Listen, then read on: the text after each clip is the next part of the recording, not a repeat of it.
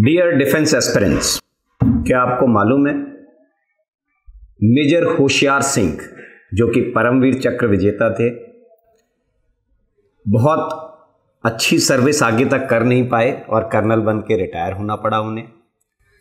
इतना बड़ा सम्मान मिलने के बाद भी वो लंबी सर्विस इसलिए नहीं कर पाए थे, क्योंकि जब वो नेशनल डिफेंस एकेडमी में बटालियन कमांडर की ड्यूटी कर रहे थे तो उनका एसीआर जिसको हम एनुअल कॉन्फिडेंशियल रिपोर्ट कहते हैं, वो ख़राब कर दिया था उनके सीनियर ऑफिसर ने और वहाँ ग्रेडिंग अच्छी नहीं मिल पाई थी उन्हें।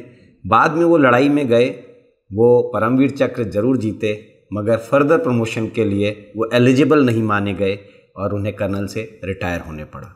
Wish you very good luck stay fit stay healthy